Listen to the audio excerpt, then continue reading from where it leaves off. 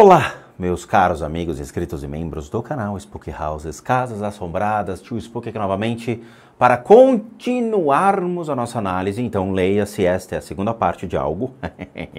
né? Tem a primeira parte desse túnel Inunaki, ou o cão que chora, ou o cão que uiva, como diria nossa queridíssima Camila Pitanga, elucidando no japonês, coisa que nós não entendemos aqui no Brasil, mas Camilosa traz aí o nosso conteúdo, traz um conteúdo muito, muito, muito bom.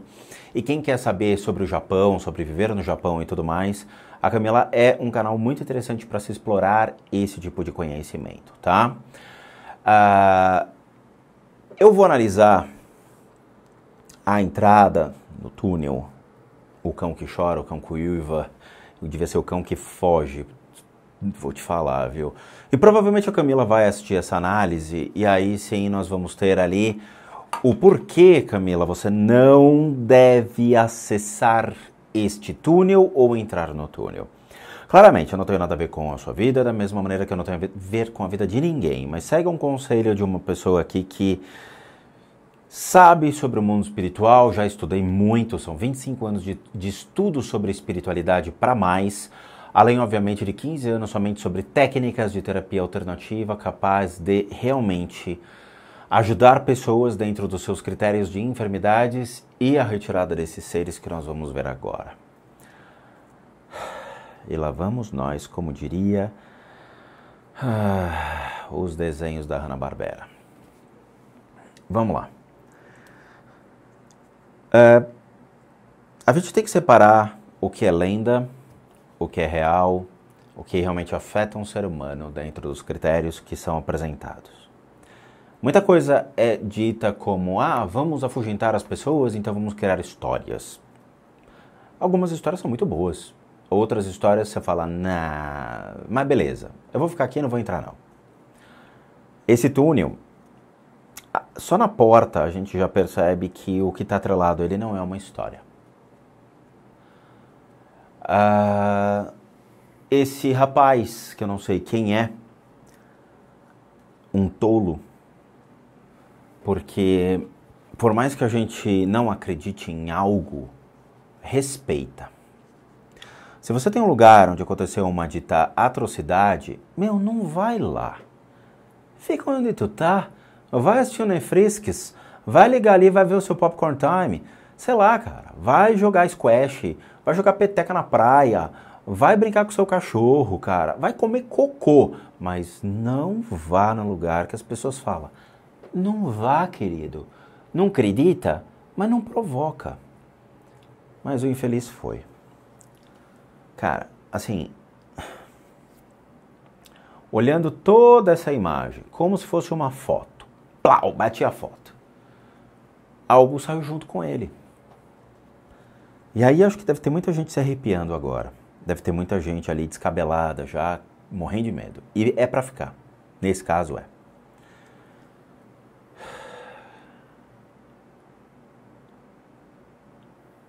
Tá aqui, ó.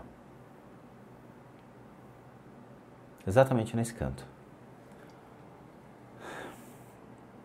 É uma mulher. Ela faleceu sim nas redondezas desse túnel. Ela está presa a, vamos dizer assim, a algo relacionado a essa história. Quando a gente falece, e novamente é importante as pessoas entenderem, é um momento realmente especial na sua vida. O nascimento é um momento especial, mas a morte também é. Porque você vai estar se desconectando de tudo aquilo que você fez, teve, possuiu ou foi ao longo de sua jornada na Terra, como uma forma de agradecimento por tudo aquilo, mesmo que ruim. É aquela coisa, como diria Roberto Carlos, né? mesmo emoções ruins, mas são emoções que eu vivi. Faz parte de um aprendizado tudo aquilo que a gente passa ao longo da nossa existência. A gente aprende a sorrir, mas a gente aprende a chorar. A gente aprende a ser feliz, mas a gente aprende o que é a tristeza. A gente aprende a, co a comer a mais deliciosa pizza, mas a gente em alguns momentos também aprende ao que é não ter nada para comer. A vida é uma grande montanha russa de emoções e de pensamentos, principalmente pensamentos. A gente tem pensamentos destrutivos 24 horas. Eu amo, eu odeio. Eu quero, eu não quero mais. Ah, não quero fazer nada, agora estou extremamente produtivo. É, me deixem em paz ou eu preciso agora de meus amigos. A, a, a mente humana é sensacional. É sensacional. Nós vivemos numa inconstância de emoções e pensamentos. E quem apanha é o corpo. E aí, no momento em que nós morremos, algumas pessoas, obviamente, em sua maioria, acabam permanecendo aqui presos a uma emoção, a um pensamento, a uma matéria, a algo que realmente crie um alicerce. Algumas pessoas que morrem em situações ruins permanecem inquietas. E aqui a gente tem uma mulher que passou por muitas situações ruins em sua vida e hoje encontra-se num estágio de fúria, raiva e querendo justiça. O problema é que esse tipo de pessoa, ela possui uma energia tão ruim, mas tão ruim que ao chegar perto de qualquer ser humano, esse ser humano provavelmente irá mudar na sua forma de agir, de pensar, de ser. Irá afetar todos ao seu redor só pela presença desta figura. Ela está aqui, ela tem uma característica de animal, ela traz traços bem animalescos. Então, para aqueles que assistiram Lights Out, é exatamente a Diana do Lights Out. É esta mulher. Ela está exatamente aqui. Tá? Ela é agressiva e dá para sentir a energia dela à distância. E o nosso queridíssimo amigo, que não tem a sua sensibilidade, não tem capacidade, não tem nem nada desenvolvido, simplesmente resolve enfrentar o desconhecido. Cara, é a mesma coisa que você pular numa piscina de tubarão e achar que está nadando entre amigos. Para quê? Se você não tem uma habilidade desenvolvida capaz de interpretar essas energias, não vá, não faça. Ela vai acompanhá-lo. Ela vai segui-lo. E tem que invadir a propriedade, olha lá. Ah, eu vou pular o muro porque eu sou marginal, eu sou malandro. Olha lá. olha lá. É nós que manda. Okay, so... Um, dois, três, quatro, cinco. Um, um, dois, três, quatro cinco, seis, sete, oito. Um, dois, três, quatro, cinco, seis, sete, oito. Parabéns. Parabéns. Olha o cara aqui, ó. Esse aqui é um indigente que faleceu. É um indigente. É um indigente. Faleceu. Aqui, ó. Esse aqui é um indigente. Morador de rua.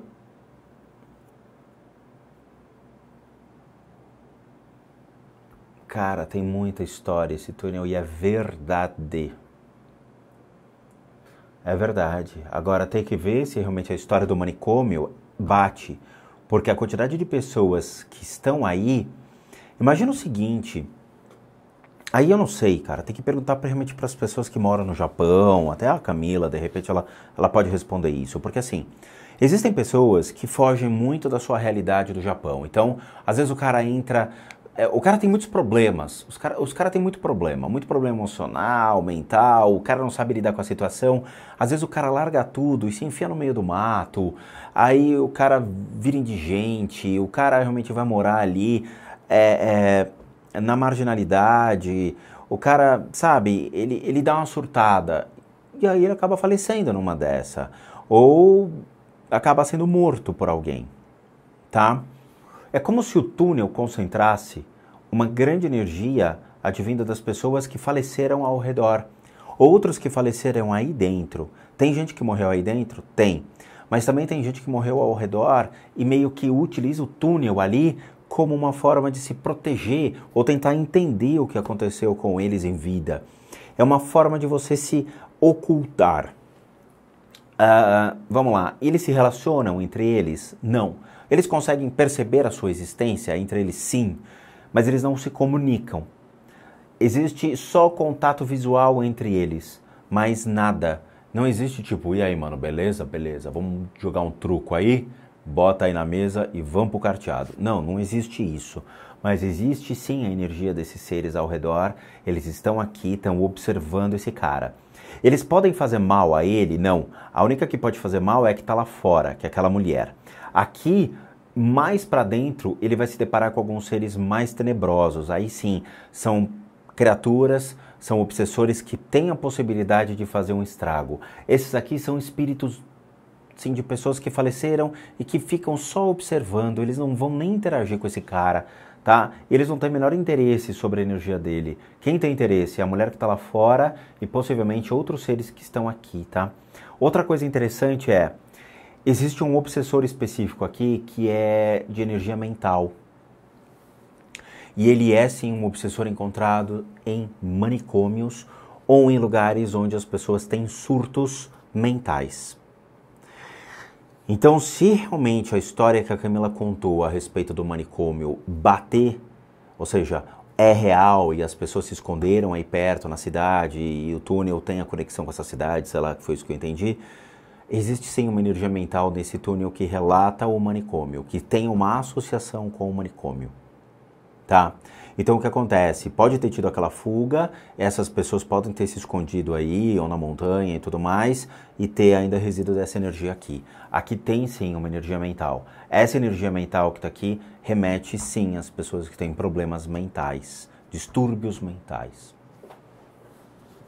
I'm gonna go in alone because it's really difficult. I don't know if you can pan down to see how difficult it is to get down. Amigão, eu não vou te deixar de, desejar sorte. Você está invadindo um túnel. Eu quero que realmente você aprenda a não fazer mais isso. Wish me luck. Eu não vou te desejar sorte. Eu quero que você aprenda a não fazer o que você fez. Tá aqui um. Aqui tem uma mulher jovem, 26 anos. Aqui tem um cara de idade já, dá para perceber, o rosto dele já é de idade. A menina tá aqui, ó, 26 anos.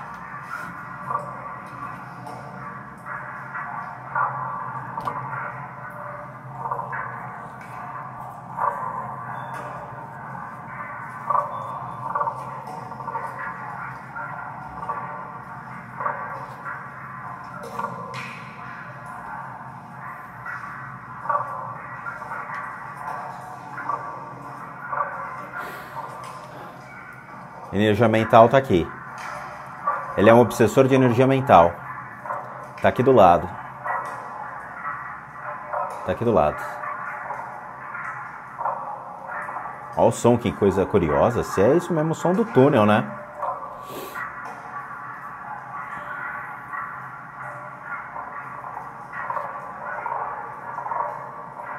Olha o som.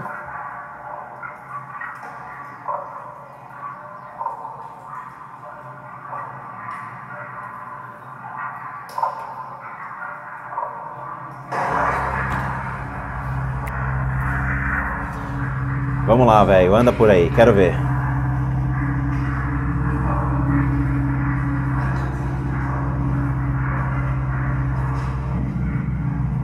Aqui. Tem um aqui. Esse aqui é de drogas. A gente tem dois obsessores aqui que são bem chatinhos. A gente tem um aqui. Esse daqui, ele carrega depressão, muita depressão. É, ele é facilmente se conectado na região do estômago de um indivíduo e garganta. Ele vai pegar estômago e garganta e ele vai fazer com que uma pessoa sinta realmente angústias. Ele está aqui, ó, tá? Era uma pessoa que faleceu, sofria muito, muito trauma por um trauma emocional, muita depressão, muitas é, é, realmente decepções. O cara tá aqui, ele se matou. Esse cara se matou, ele se matou. Esse daqui, que está aqui, ele é bem mais complicado e ele chega muito a ser par daquela mulher que está lá fora. Por quê? Aquela mulher, ela é muito mais agressiva, muito mais raivosa. Este daqui é de drogas. Mas os dois têm pesos muito semelhantes. Esse daqui é um obsessor de vícios, muitas drogas. Ele, de novo, era uma pessoa, usuário de drogas, acabou falecendo por uma overdose. E ele, ele, a última consciência dele é a utilização de drogas, o prazer das drogas, a válvula de escape que é uma droga. Ele se torna um obsessor do mundo, se conecta às pessoas, principalmente pessoas que utilizam dessas substâncias. Ele se alimenta por duas formas. Se conectando às pessoas, ele se alimenta pela energia da droga, pelo prazer que a, droga proporciona à pessoa que está conectado e ao cheiro que essa pessoa emana. Por isso que a maioria desses obsessores de drogas e vícios, eles têm um cheiro extremamente forte. E quando você entra em um ambiente desse tipo, você consegue perceber odores, coisas que você fala, cara, que cheiro é esse? É um cheiro de, de lodo, viscoso. É, é, é um cheiro bem complicado, assim, que você olha e você fala, cara, alguém fez meleca aqui, né? Porque é forte. Tá aqui desse lado.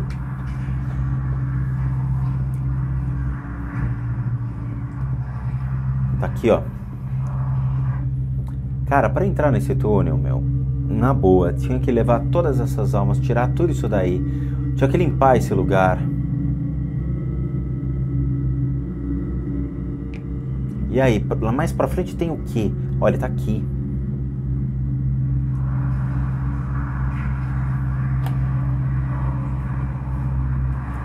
Não tem uma luz. Literalmente, só tem uma luz no final do túnel. So people would come in here, drive their cars, would claim the engine would stop. They would hear voices of children, É, ele tá falando que escutam vozes de criança. Não dá, cara. Você tá gravando com uma TechPix. Não vai dar pra ver direito o que, que tem nas paredes.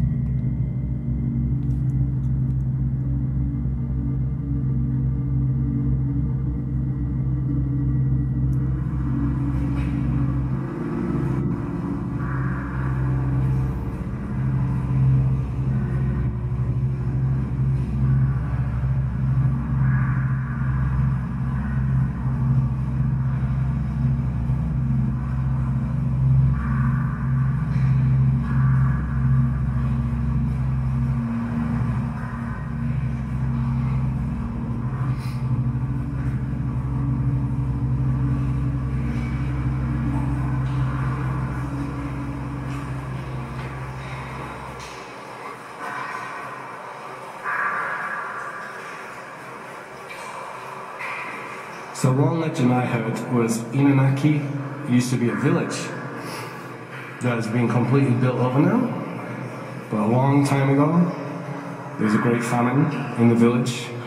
You couldn't grow any food, any rice, which led to the elders of the village Tem mais um ali. the children. Tem mais um aqui. And again, I'm sure that's just E eu sujando todo o meu monitor.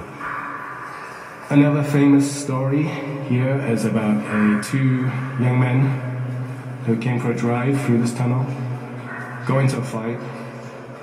One of the friends murdered his pal and set him on fire. Ele está contando histórias, de novo. Histórias muito parecidas com o que a Camila contou. It's pretty gross.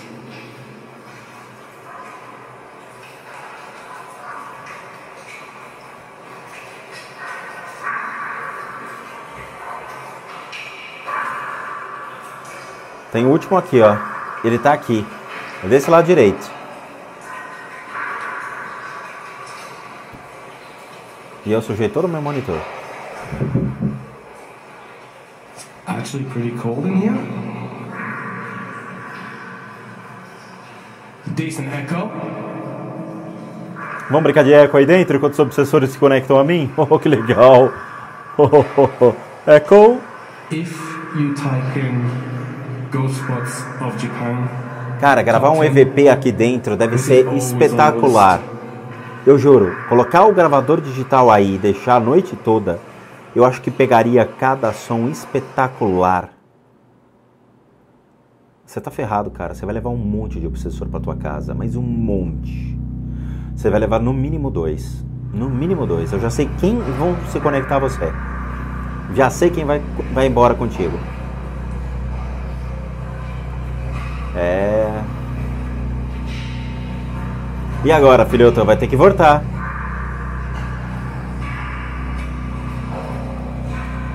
Corre com tia na casa da tia, velho. Olha, tem um, dois, três, quatro, cinco, seis, sete, oito, nove, dez. Tem uns dez caras aí dentro. Sendo que dois são realmente de se tirar o chapéu. Olha, daqueles que eu, eu pararia pra ver. O resto não. Mas esses dois obsessores eu tenho certeza. Eu bateria palma pra esses caras, que eles são bons. A força deles é, é muito, muito forte. Eles chamam be atenção. Tem força. a.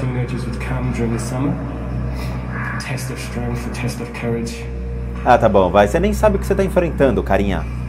Ai, é um teste de coragem. Você nem sabe quem que você tá lidando para dizer que é um teste de coragem.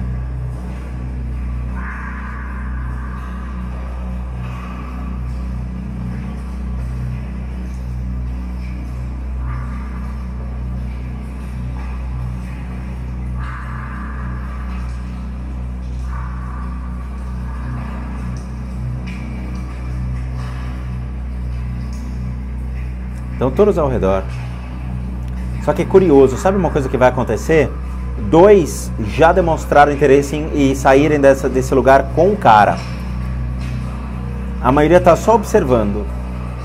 Só observando, tipo, o que, que esse cara tá fazendo aqui? Sabe, tipo assim, vizinho noivo, novo no bairro. Entrou um vizinho noivo no bairro. Quem é o cara? O que, que ele tá fazendo aqui? O que, que ele faz? Tá todo mundo olhando. Cara. Ai, eu fico louco com isso. Lembra aquele cara que eu falei da direita? Também chama atenção. Ele tá começando a andar. Os outros estão parados só observando. Esse cara começou, ele já tá a dois metros à frente. Significa que ele gostou desse carinha. Significa que o carinha vai levar esse cara já para passear. Ele tá se aproximando. Ele tá vindo. Ah, mas você vai ter uma falta de ar maravilhosa vindo pra cima de você, cara.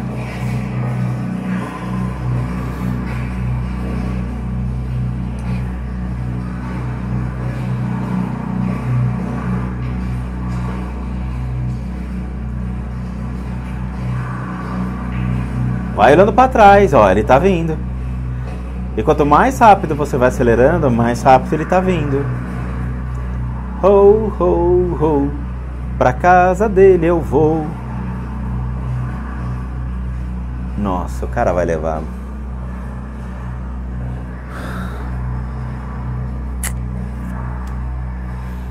Pra quê, meu? Ele está vindo.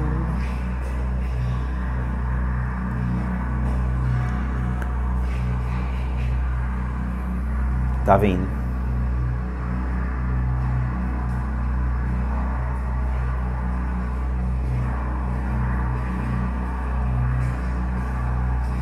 Olha que legal.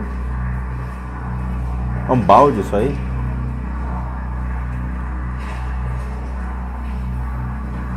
Looking off here. Ele tá bem perto dele agora. Dois metros do cara, pra esquerda. Ele tá vindo pela esquerda.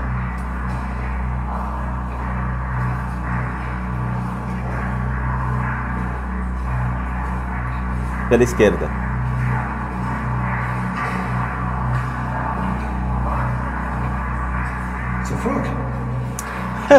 Olha só, temos um Sherlock Holmes. É um sapo. Eu queria que você virasse e falasse: Olha, é um obsessor. Olha, que eu vou levar para casa. Boa, queridão. Faz meleca. Olha a quantidade de obsessores que estão atrás de você.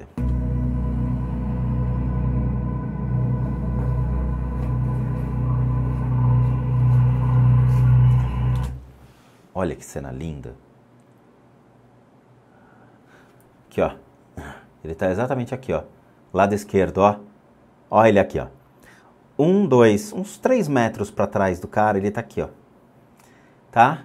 Ele vai ser, ele vai se conectar na parte dos pulmões, vai afetar o sistema respiratório desse cara, que é o ponto fraco dele. Tá aqui, ó.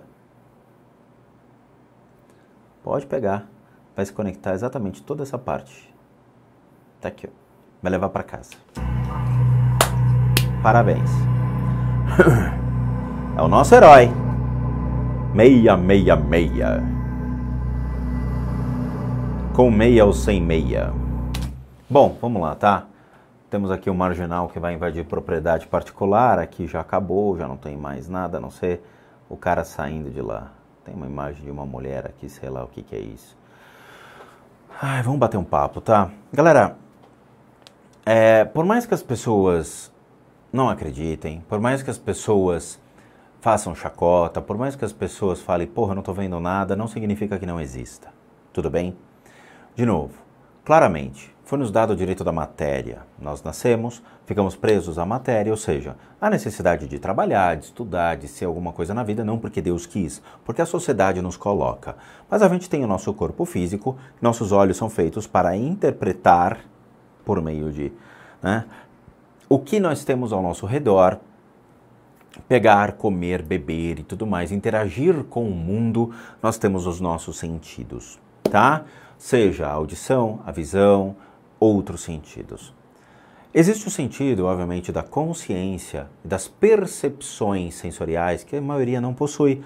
Por quê? Porque nós ficamos presos exatamente a essa matéria, às condições mais físicas. As condições psíquicas e mais sensíveis ou sensitivas não são afloradas quando você não tem a consciência disso ou você não quer ter a consciência para isso. Então não significa que ela não exista, mas significa que ela não é utilizada ou não é útil ou não se faz útil para mim nessa existência.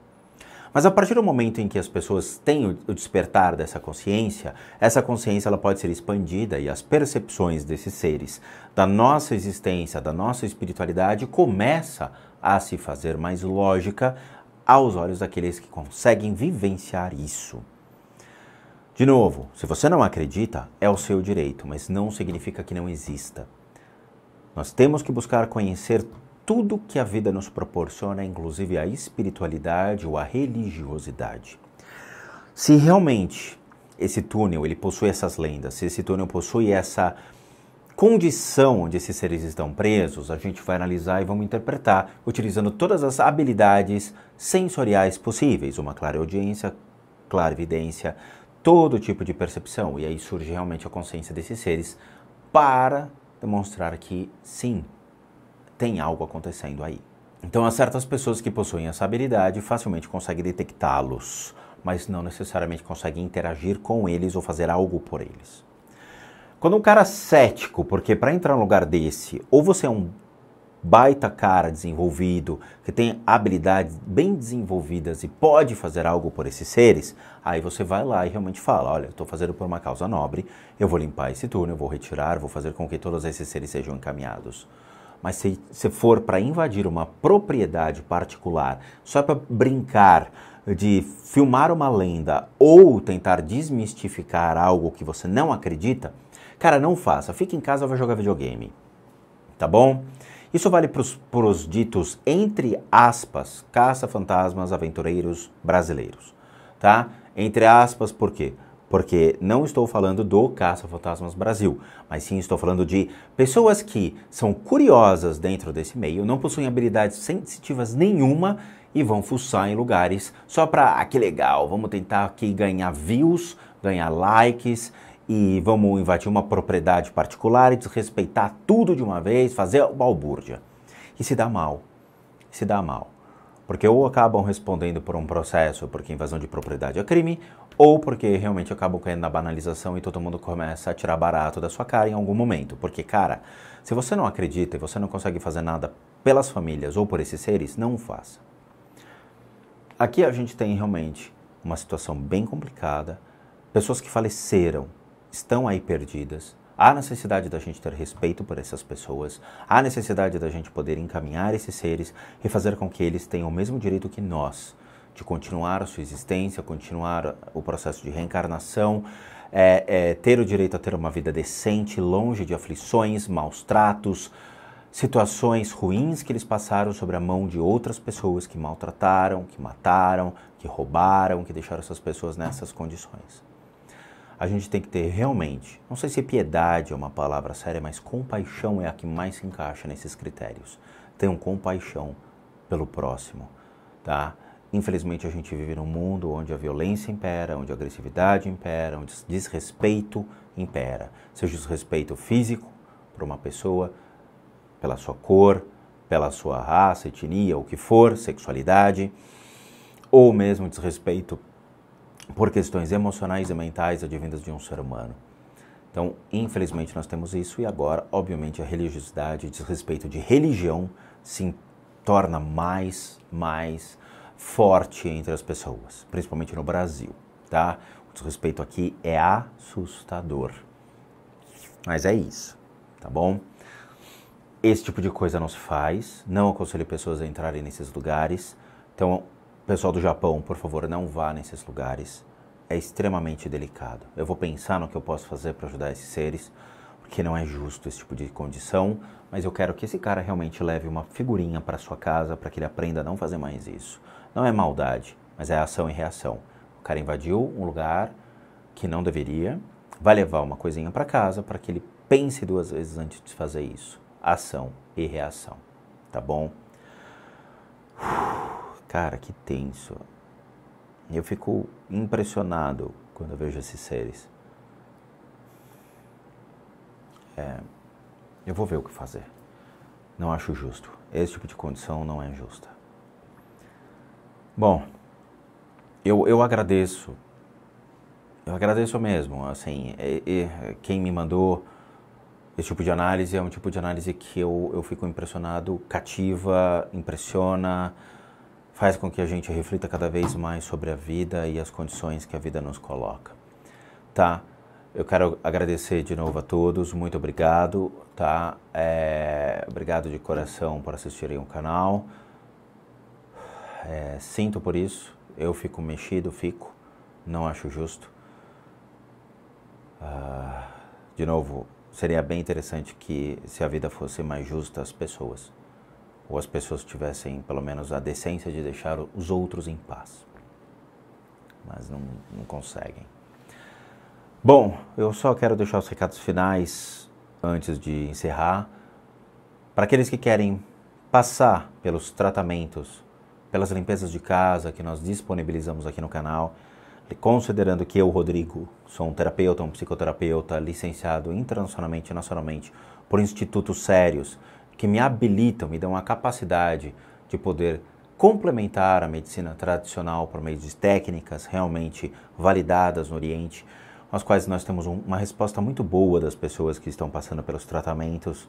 Leia-se em duas playlists que nós disponibilizamos aqui, uma só para tratamentos que vocês podem ver que são os depoimentos dos pacientes e outra que é a limpeza de casas, como realmente o processo ocorre. Para todos que querem passar por esses tratamentos, ou as limpezas de casa devem encaminhar um e-mail para limpezadecasas@gmail.com. De novo, limpezadecasas@gmail.com. Limpeza com um Z, tá, gente? Tá na descrição do vídeo como se escreve di direito esta, uh, este endereço de e-mail. Para aqueles que querem ajudar o canal, nós temos dois sistemas de doação. Um sistema Seja Membro, que você clica aqui e doa R$ reais para a gente continuar firme e forte na plataforma. Ou mesmo pelo PayPal, que daí você pode doar qualquer tipo de valor, que também nos ajuda bastante aqui. E por último, nosso site, casasassombradas.com.br, com muita coisa legal para vocês. Vejo vocês nos próximos vídeos. E bons sustos a todos nós.